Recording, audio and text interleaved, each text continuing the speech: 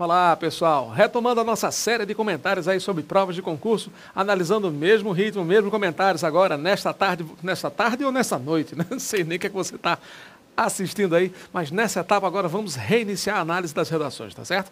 Prosseguindo aí a análise, análise, vendo alguns textos, algumas características pontuais aí de muitas bancas examinadoras, seguindo a sequência aí no ritmo que a gente estava até pouco tempo aí, analisando sempre as características discursivas, o espelho de redação, vendo o texto das pessoas. Está vendo aí? Não é legal? Eu estava pensando muito, rapaz, eu acho que eu vou digitar isso aí, vou colocar tudo em PowerPoint e tal. Mas uh, uh, você vê o texto, você vê a letra da pessoa, a apresentação lá da coisa, né? Não é diferente? Não, sensação legal? Pois é esta sensação de você analisar a prova mesmo, ver lá o estilo da letra da pessoa, de que forma ela foi pontuada ou foi penalizada ou não pela estruturação dos parágrafos e tal. Porque como as bancas examinadoras, elas têm essa postura de penalizar muitas vezes o candidato pela pouca organização dos textos, né? A estrutura, margem, legibilidade. Então você vai perceber pela nota atribuída se o candidato foi ou não penalizado em relação à construção textual, à organização, uma série de coisas, tá certo? E nesses últimos casos que nós vimos aí nas últimas aulas, seguramente você percebeu uma série de características aí, algumas delas até surpreendentes, não foi? Algumas rasuras que passaram tranquilo, alguns ajustes de imagem que a banca não deu nem aí. Nessa etapa agora vamos trabalhar mais algumas redações enviadas por vocês, nossos alunos aqui do Eu Vou Passar, que muito nos ajudaram aí na elaboração desta, na, na construção mesmo, deste módulo 14 do nosso curso Redação para Concurso.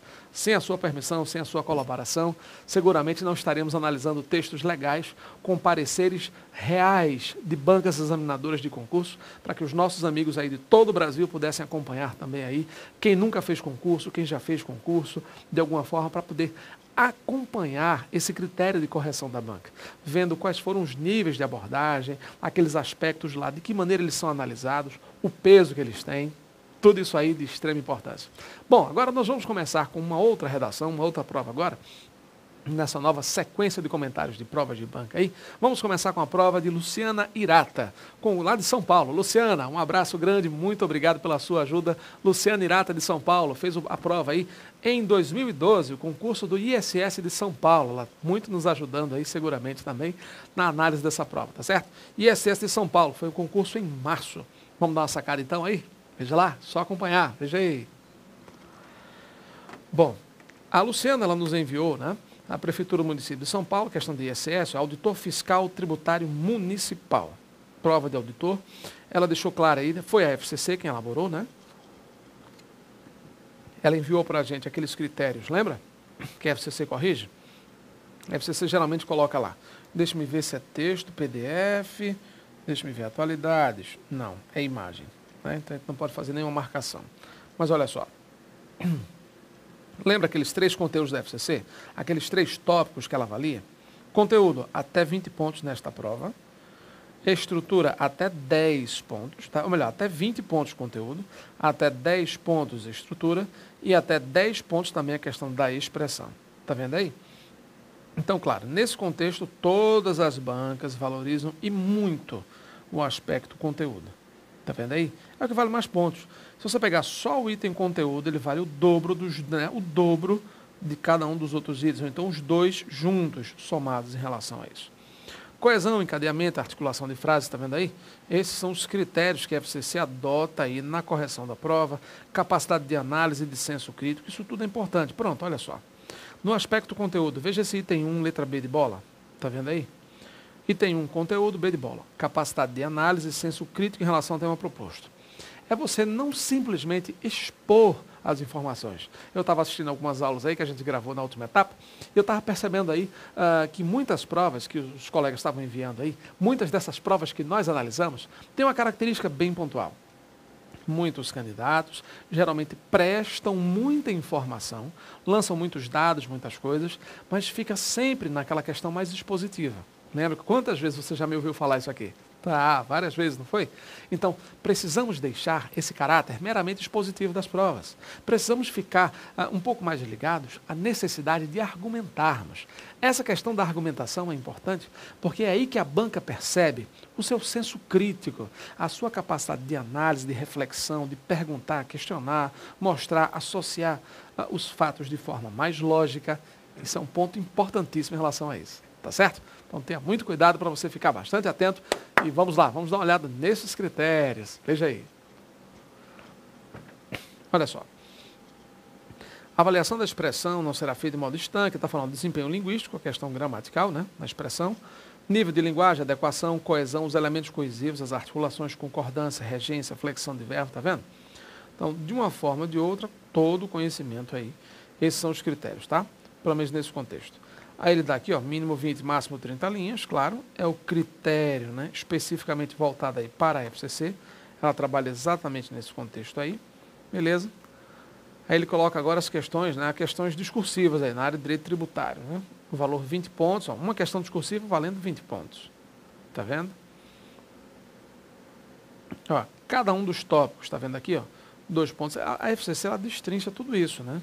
Cada um dos pontos em relação a isso aí, na parte de direito e tal, quantidade de valor, os artigos de legislação, ó, cada um dos artigos que são utilizados aí, tá vendo aí?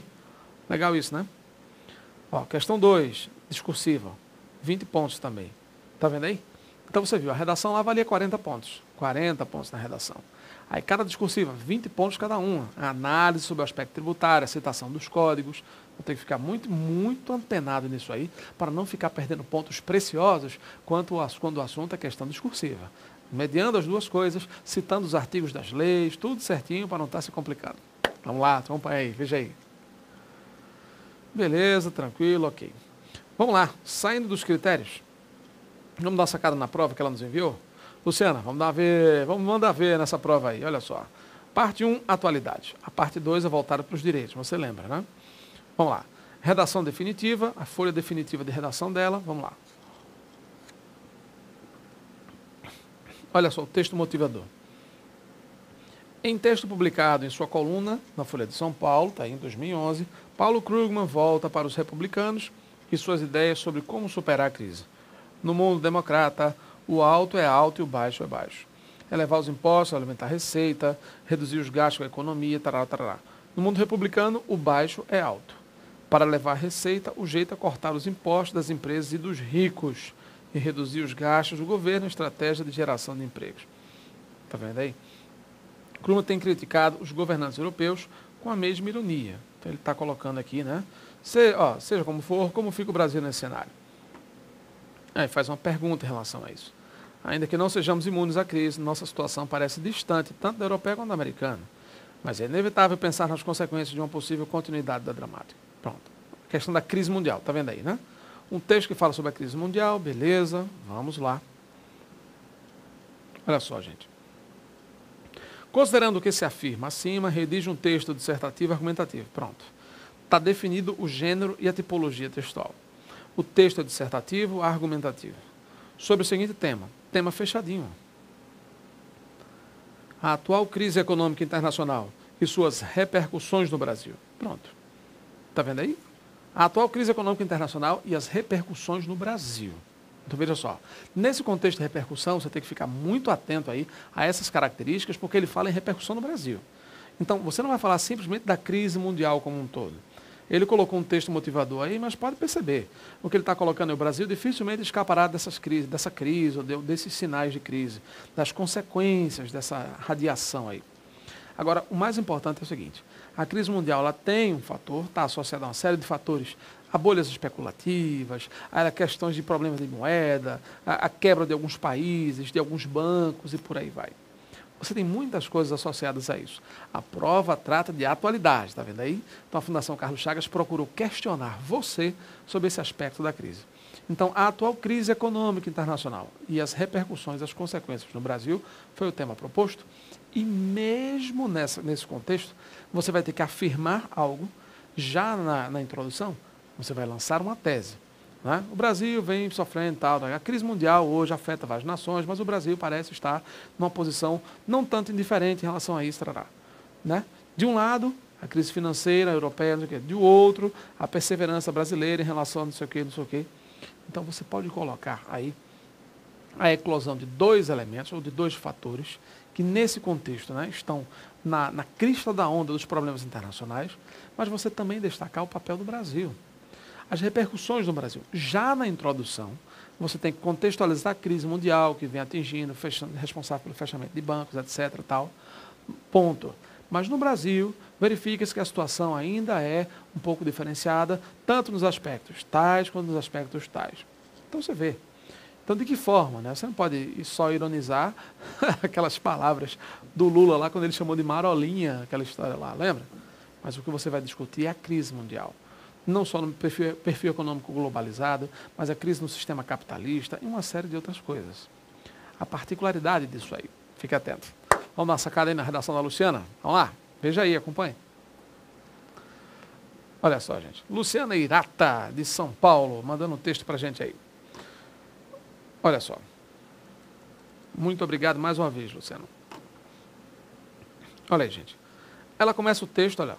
Apesar da diferença entre a situação do Brasil e dos países desenvolvidos em crise, o prolongamento desta tem alta probabilidade de causar reflexo no nosso país, especialmente nas exportações, direta ou indiretamente, sendo esta devido à globalização.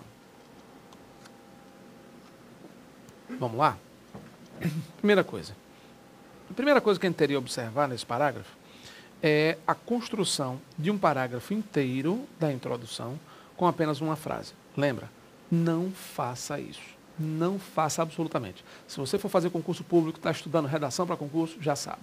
A sua introdução precisa ter pelo menos duas frases, dois períodos. Uma em que você lança um aspecto qualquer, histórico, social, político, cultural, uma citação, o que você quiser. Você pode começar a contextualizar a tese.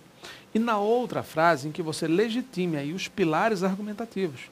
Aquelas duas vertentes, os dois elementos que você vai utilizar como base para justificar a sua tese, para comprovar a sua tese. Percebeu? Você precisa comprovar a tese de alguma forma. Esses dois objetos, esses dois argumentos irão ajudá-los e muito nesse aspecto de comprovação da tese aí. Beleza, então? Na introdução, já estruturando. Vamos lá seguir, veja aí. Olha só. Apesar da diferença entre a situação do Brasil, ó, isso aqui, mas é ponto, foi interpretado pela banca como acento agudo, igual de países. Tá vendo aí? Ela foi penalizada por colocar um acento agudo em Brasil. Mas não é acento agudo, não, foi o meu ponto rápido. Eu entendo. Olha só, eu compreendo perfeitamente. Mas é muito bom você que está nos assistindo perceber isso aqui e ver que a banca realmente tirou ponto, porque às vezes a gente fala, né, na sala de aula, nos cursos, gente, ó, cuidado, isso aqui não é acento agudo, não. Isso aqui não é, isso aqui não é um ponto, não, isso é um acento agudo. Ó, gente, isso aqui não é ponto, não, isso é um tomate. Tem negócio. A gente fica prevenindo o pessoal aí e colocando aquele, o tio, aquela letra tio, nossa, como as pessoas erram aquele negócio, né? O cara lança o tio, e faz um chicote, um, zebra, puxa o ó com tio. É uma loucura esse negócio. Então, você precisa tomar cuidado. Olha aí, a nossa colega foi penalizada na redação por um ponto mal compreendido, porque na verdade não tinha nem formato de ponto, né? Estava mais para traço mesmo. Veja aí. Olha só. Está vendo aqui? Apesar da diferença de situação do Brasil, aqui foi interpretado como acento, quer nem saber. E dos países envolvidos em crise, o prolongamento desta tem alta probabilidade de causar reflexo no nosso país, especialmente nas exportações, direto ou indiretamente. Sendo esta, esta o quê? Direto ou indiretamente? Percebeu? Sendo esta, a referência não está precisa, não está clara. Sendo esta, devido à globalização, percebeu? Não, Marcelo, mas o que eu quis dizer aqui foi que assim, essa questão da crise, como o mundo está, o mundo hoje é global, a economia hoje é global, a crise não vai ficar num setor só, ela vai se alastrar por vários países. Eu até entendo, Luciana, que de alguma forma você tenha procurado dizer isso ou colocar, contextualizar, mas a banca não vai perceber desta forma. O difícil, efetivamente, é que você não está ali ao lado do corretor para explicar o que você quis dizer. Não, eu sei, mas o que eu quis dizer então, todos vocês que estão nos assistindo, olha só. Não adianta você colocar, mas o que eu quis dizer, mas o que eu quis dizer, não adianta você partir para o que quis dizer. Tá certo? Você tem que dizer efetivamente. Tem que mostrar, falar realmente e não tem acordo. Mesmo nesse quis dizer, lá, lá, lá, você precisa ajustar o argumento e tem que ser claro. A globalização, esta, tal, que você citou aí, olha só, Manuel, vamos lá. Quando você cita essa questão da globalização, pode perceber. Quem é que está mais próximo ao pronome esta aí? Quem é que está mais próximo? direta ou indiretamente. Percebeu? Se quem está mais próximo, esta está mais próxima, aquela, né? aquela está bem mais distante. Você coloca direto ou indiretamente aí, mas o esta, essa segunda ocorrência do esta aí, não está, vamos dizer assim, precisa em relação à referência. Porque você nota que o esta aparece e tal, mas não é aquela referência do, da proximidade, está bem distante. E não fica muito clara a referência em que você está atribuindo a questão da globalização. Entendeu? Ficou um pouco impreciso aí.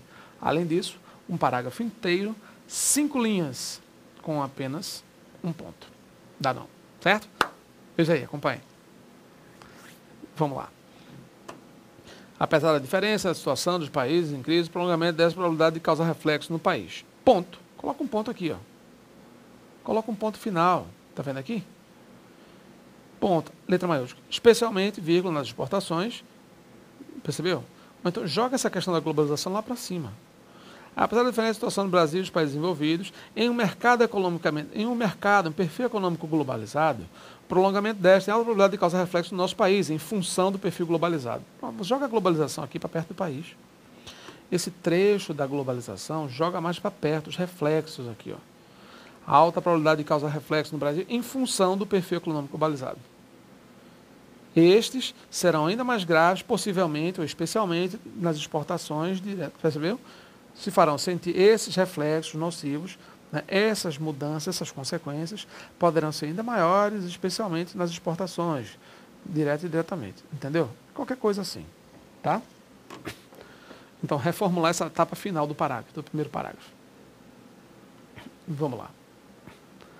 De modo mais direto, como divulgado pela mídia, é perceptível, olha só, apertadinho aqui. Há muitas bancas que tiram ponto desse apertadinho, hein? Esse apertadinho aqui, ó, nada disso, tem que tomar cuidado com essa história. Mas olha só o tamanho da letra do D, de modo mais direto, e o perceptível, ível, até o acento agudo aqui está apertado, tá vendo? Tem que tomar cuidado, hein? As bancas podem pegar no pé. É perceptível a dificuldade de exportar com o dólar, acento agudo faltando, né? Com o dólar em baixa fato que está recebendo grande atenção, olha só a misturada. Né? Pode perceber que a, a, Luciana aqui precisa dar uma ajustada nessa questão da família grafológica. Luciano, eu vou tentar abrir algum arquivo aqui para te mostrar um pouco essa questão da família grafológica, tá certo? Olha só, direta, causar, você está usando o E, caligrafia técnica, o A, caligrafia técnica, tá vendo aí? O N, mas o teu R é um R de forma, de imprensa. Não é caligrafia técnica, tá vendo? Você está misturando aí. O teu F, o teu L, tudo bem, mas assim, ó. Tá vendo o R aqui misturado? Exportar. O R de caligrafia técnica não é esse, hein? Então tem que tomar cuidado aí que tem banca que pega no pé. A dificuldade de exportar com o dólar, acento agudo, com o dólar em baixa, fato que está recebendo grande atenção. Olha esse R aqui como está. Olha o tamanho dele. Esse R aqui é maiúsculo grande atenção do governo brasileiro, uh, com medidas para conter a queda do dólar, de novo, dólar, dólar, além da falta de acento, a repetição do mesmo parágrafo. Dólar, por exemplo, entre vírgulas, erro gráfico aqui, tá? palavras explicativas ou retificadoras, sempre entre vírgulas, tá? Por exemplo, com alterações no imposto que reflete no câmbio. Beleza alterações no imposto que refletem, né? Não são alterações? Alterações no imposto que refletem no câmbio. Outro fator que afeta diretamente é a importância que os Estados Unidos têm, uh, que os Estados Unidos têm, vírgula, um grande parceiro comercial do Brasil, pois um país, acento agudo, em crise, tende a importar menos. Logo, é razoável crer que diminuirá a exportação para eles. Vamos lá. Olha só, eu tenho uma, vamos ver aqui se tem a numeração. Tem não. Ok. Uma, duas, três, quatro, cinco, seis, sete, oito, nove linhas no segundo parágrafo. Tá vendo aí? Já é um parágrafo bastante longo. Vamos lá. Indiretamente, vírgula, podemos notar que outro país importante para as exportações, especialmente minérios e alimentos, está prevendo níveis menores de crescimento, diminuindo a demanda de produtos e matéria-prima, que pode, consequentemente, afetar o Brasil. Percebeu como a expressão? Outro país. Que país, minha velha? Tá vendo aí, ó? Sim, mas cadê? Que país? Como assim? Entendeu? Está citando os Estados Unidos pela parceria que eles têm. Mas a referência, que é outro país, foi completamente aberta. Tá vendo aí? Ó, acento também, tá vendo? Tem que trabalhar mais a acentuação gráfica, hein? Alguns equívocos de acentuação estão sendo notados e serão todos descontados em relação à nota final. A demanda de produtos matéria-prima, o que pode, consequentemente, afetar uh, o Brasil. Outras possíveis dificuldades uh, decorrem do aumento de barreiras comerciais que a instabilidade provoca. Interessante, olha só. Uh, é notório, pelo menos assim, é, é incontestável que ela está procurando realmente mostrar algumas repercussões do mercado financeiro, no mercado brasileiro aqui. A queda nas exportações, a dificuldade de se exportar para países em crise, os Estados Unidos, que são um dos maiores parceiros comerciais do Brasil. Beleza, tranquilo. Você realmente percebe aí uma ligação muito forte em relação a essas características. O que está faltando aí? Ele pediu para fazer uma análise da crise, a atual crise financeira e as repercussões no Brasil. A crise mundial ela vem se alastrando, a economia é globalizada, vários países certamente serão atingidos, muitos bancos fecharam, instituições financeiras né, tiveram graves problemas, e a questão da taxa de juros, a manutenção da inflação no Brasil foi é, gritante. Né? A necessidade de se conter um pouco essa questão aí foi essa dificuldade, essa crise, o ministro da Fazenda viu estrelas, né? o Banco Central também, a questão do câmbio flutuante e tal, para acompanhar as mudanças e, ao mesmo tempo, para tentar tornar o mercado brasileiro menos vulnerável, a economia brasileira menos vulnerável a essa pressão internacional muito forte aí. O que é está faltando? Você pode perceber, é aquele velho problema enfrentado por muitos candidatos, que eu espero que vocês que estejam nos assistindo aí fiquem muito atentos, fiquem atentos mesmo. Uma boa redação, um bom texto dissertativo, argumentativo, tá? é aquele texto que não só expõe os dados, mas discute esses dados, lança as informações e observa a pertinência delas. De alguma forma, é bom, é ruim? Por que é bom? Por que é ruim? Que característica é essa? Já falei isso aqui quantas vezes? Diga aí. Hã? Quantas vezes? Vá, ah, pode falar, pode falar. Quantas vezes você já escutou isso aqui de mim? Quantas? Entendeu aí? Então, não é só falar sobre o assunto, não é só trazer as informações, lançar os dados, mas você precisa discuti-los. Isso aí é imprescindível, gente. Beleza? Vamos continuar. Olha só. Consequentemente, afetar o Brasil e outras possíveis dificuldades. Aqui, tudo bem, neste parágrafo, ela uh, acrescenta novas. Vamos ver se isso aqui funciona. Ah, cara, olha aí, bicho. Se bem que tem que aumentar mais, né? Ou não, dá para visualizar isso aqui? Vê como é que tá. Vou ver se eu aumento essa margem aqui. Duh, foi demais, né? Foi muito. Mas dá para ler aí? Ok, dava. dava, eu tirei o negócio. Vamos lá, gente. Então, ó. Portanto, vamos lá, opa, quase que eu revelo a nota que ela tirou aqui. Portanto, como o Brasil depende consideravelmente das exportações e existe grande interdependência entre os países, pode-se acreditar que a continuidade da crise repercutirá negativamente nas exportações brasileiras. Olha só. Pode observar que o texto, a conclusão, começa pelo portanto, né? Está vendo que os candidatos têm uma afinidade com essa palavra portanto impressionante, né? Tem que se lembrar. Não é só o portanto que conclui o texto, não, tá? Você tem que tomar cuidado aí, pensar, não, mas é só o portanto que, que termina texto, aquela coisa. Não.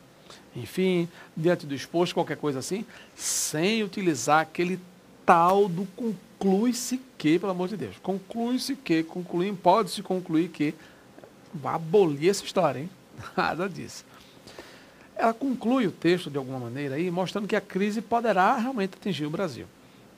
Mas veja, poderá e deverá atingir negativamente as exportações brasileiras. A conclusão do texto se limitou a trabalhar as exportações. Daria para ser mais amplo? Certamente. Como é que eu posso melhorar essa nota, aumentar essa nota? A, a, crise atingirá as exportações, não só as exportações, mas o mercado interno também. O consumo interno poderá ser prejudicado, a produção industrial do Brasil poderá sofrer reflexo notório em função de tudo isso. Se afeta as exportações, afeta a agricultura brasileira que exporta, afeta a produção industrial brasileira que exporta, entre outras coisas. Deu para perceber isso aí? Afetará o turismo do Brasil, porque as pessoas não viajarão tanto para cá. Deu para perceber? Então, é muito importante que você mostre os reflexos dessa crise em vários âmbitos, em várias situações, em vários contextos, e que você efetivamente, na conclusão, reafirme o ponto de vista, mas não só de maneira restrita em relação às exportações. No geral, o texto está razoável, você viu, né? um texto mediano e tal, não tem muitos erros de português, a letra né, relativamente legível, apesar daquele Rzinho lá que tem que ser corrigido para caligrafia técnica. Eu vou tentar ver se eu abro aqui, Luciano, se você estiver nos assistindo aí. Eu vou tentar abrir aqui um PowerPoint qualquer, qualquer PowerPoint desse aqui. Deixa me ver se eu tenho PowerPoint por aqui, só para mostrar para você esse formato. Pronto, aqui um PowerPointzinho. Olha só. Só para mostrar para você o seguinte, olha só. Preste atenção. Quando você escreve Brasil, tá vendo aqui? Ó, esta aqui é a letra de imprensa. Está vendo aqui? É isso que eu queria demonstrar, mas aquele, como aquele arquivo lá está escaneado, então a gente não consegue fazer. Ó, beleza. Mas o problema é você, por exemplo, escrever Brasil assim. Ó. Vamos supor. Está vendo aqui? Este R, exatamente dele que eu estava falando, este R, tá? Você precisa fazer este R. Sabe por quê? Porque este R, Luciano, por exemplo, Ó, ele pertence a esta família grafológica, a esta família grafológica. Percebeu aí? Este A aqui já pertence a esta família grafológica, a esta outra família gráfica, tá vendo? E este S aqui pertence a este A, este E e este R. Aí o que, é que você estava usando lá? Você estava usando este R aqui, ó. Tá vendo? Então tem que tomar cuidado. Porque naquela misturada que você estava fazendo lá, você estava utilizando vários padrões gráficos. Então você misturava o B como letra de imprensa, o S, aí daqui a pouco vinha o R aqui, percebeu? Ou então é, né, o R aqui, este R. Você você estava utilizando este A, este E, está lembrada? Então, neste R aqui é que você vai encontrar a solução dos seus problemas, pelo menos do problema gráfico aí, tá certo? Então tenha muita atenção essa questão da mistura de famílias grafológicas, para uma questão básica. Há algumas bancas que ainda pegam no pé. Isso era motivo de eliminação do candidato nos anos 90. Muitas bancas de, de concursos e vestibulares eliminavam candidatos por uma simples bobagem dessa de mistura de família grafológica. Tá certo? Vou mostrar de novo, veja aí. Olha só. Então são famílias graficamente distintas. Ó. Caligrafia técnica, que é que você está utilizando. Caligrafia cursiva, a letra cursiva, está aqui, está vendo aí? E a caligrafia de imprensa, ou a chamada letra de forma. Letra de imprensa ou letra de forma, está aqui.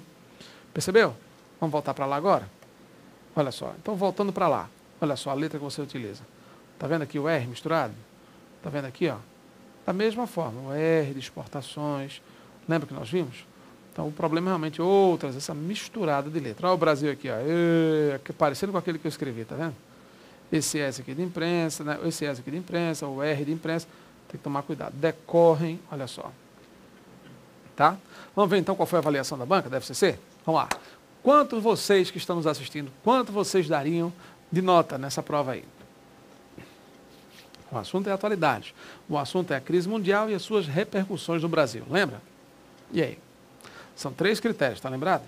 Né? Conteúdo, estrutura e expressão. E aí? Quantos pontos você acha que vale isso aí? Vamos dar uma sacada?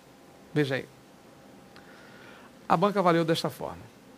Lembrando, de 0 a 20 pontos, 10 pontos, 10 pontos. Mas olha só, de 0 a 20 pontos, ela tirou 15 pontos. Está vendo aí? Razoável, né? Razoável, ou seja, tem um conteúdo razoável aí. Estrutura, de 10 pontos, ela tirou 7 pontos. Legal, né? A banca realmente sinalizou bem. Olha aí. Expressão. Em termos de erros. Alguns erros de acentuação, está vendo aí? Outro, ó, referência, que país e tal. Basicamente acento. Ó. Como ela só cometeu um padrão de erro, basicamente, né, acentuação, uma vírgulazinha ou outra, mas ó, nota 8. De, de 10 pontos, 8 pontos. Marcelo, mas ela errou mais de 3 acentos. Eu vi aí muito mais de 3. Mas note, a banca identifica a natureza do erro, o tipo de erro, e penaliza em um décimo, no máximo dois décimos, por tipo de erro cometido. Então, é, concordância, quanto mais diversificado for a, for, diversificada for a quantidade de erros, um de concordância, um de pontuação, de ortografia e tal, se você diversificar muito, aí você se complica. Porque as bancas examinadoras descontam mais pontos em relação a isso. Se for, não, mas foram três ou quatro ou cinco erros, mas da mesma natureza, o problema dela é a acentuação. Então, nesse caso aí, o desconto seguramente será menor. Beleza? Então, ela tirou numa prova que valia 40 pontos, ela tirou 30 pontos. Olha aí, 7,5. Tá vendo aí? Esta redação, portanto, valeu nota 7,5. Legal, né? Próxima aula, mais textos, mais provas de alunos para você, ó, entendendo o métier, conhecendo as outras propostas e vendo como é que as bancas estão avaliando aí. Tá vendo como você não está tão mal assim? Rapaz, meu texto é uma desgraça, mas eu estou vendo que as bancas deixam passar algumas coisas. Há muitos textos que Marcelo está falando aí que poderiam ser melhores, está indicando vários apontamentos e tal, várias mudanças, mas ainda assim tirou 7,5, tirou 8. Não é legal? É isso aí, relaxa. Você vai fazer uma prova maravilhosa, tenho a menor dúvida disso. Dúvida nenhuma. Vamos lá? Até a próxima. Tchau.